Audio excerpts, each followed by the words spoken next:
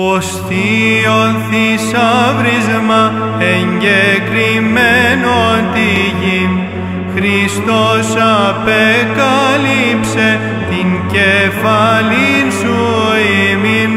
προφήτα και πρόδρομε, πάντες σου συνερθόντες, εν τη ταύτη ευρέσει,